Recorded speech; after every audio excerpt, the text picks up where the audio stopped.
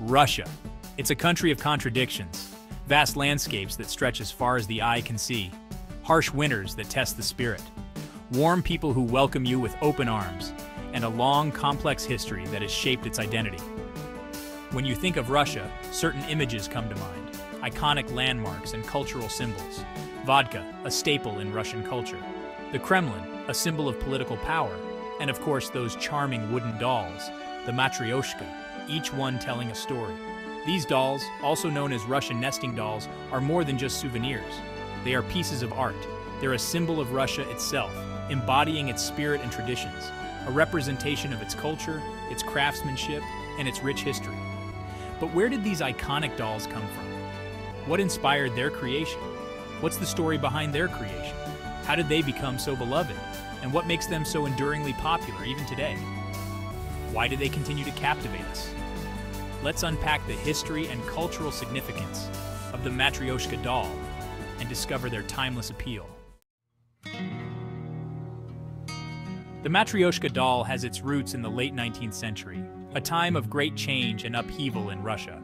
Believe it or not, the inspiration for these dolls didn't actually come from Russia. It came from the East. Japanese artisans had long been creating fukuruma dolls. These were round, hollow dolls that could be opened to reveal smaller dolls inside. A Russian artist named Sergei Malyutin is credited with designing the first Matryoshka doll. He was inspired by these Japanese dolls, but he gave the Matryoshka a distinctly Russian look. Creating a Matryoshka doll is a labor of love, a tradition passed down through generations. It's a meticulous process that requires skill, patience, and an eye for detail. Each stroke of the brush is deliberate, each color chosen with care. Artisans typically use linden wood, which is soft and easy to work with. This wood is favored for its fine grain and smooth texture. The wood is dried, cut into pieces, and then shaped using a lathe. This process ensures that each piece fits perfectly within the next. The dolls are painted by hand, with each layer adding to the story and character of the doll. The most common design features a mother figure, often dressed in a traditional sarafan, a long embroidered dress that reflects Russian heritage. She's usually holding something, a basket of flowers, a loaf of bread, or maybe even a smaller doll, symbolizing abundance and nurturing.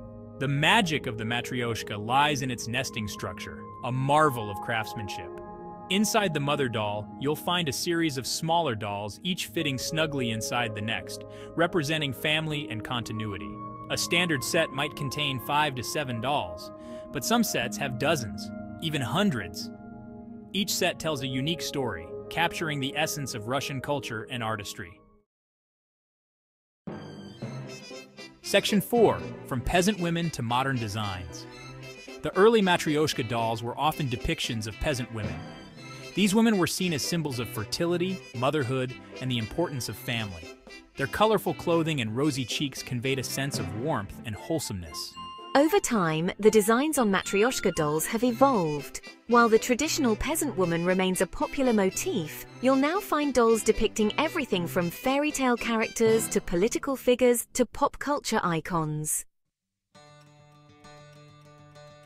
Section 5 Enduring Appeal and Modern Significance. So, why are Matryoshka dolls still so popular today? What is it about these nested dolls that continues to captivate people across generations and cultures? For one thing, they're incredibly charming.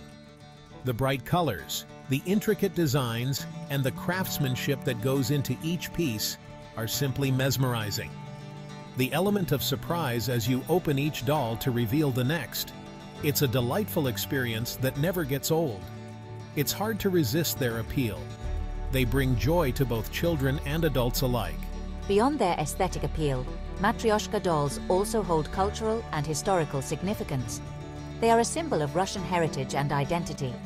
They offer a glimpse into Russian folk art, tradition and craftsmanship, showcasing the skills passed down through generations. Today, Matryoshka dolls are more than just toys or souvenirs. They're collectible items that hold sentimental value for many. Some people even see them as investments, appreciating their value over time. Antique and rare Matryoshka dolls can fetch high prices at auction, making them a prized possession for collectors. Section 6 A Legacy in Wood. The Matryoshka doll is a testament to the enduring power of folk art. It's a symbol of Russia that has transcended borders and generations. Holding a Matryoshka doll, you're holding a piece of history. You're connecting with a tradition that has been passed down through generations of artisans.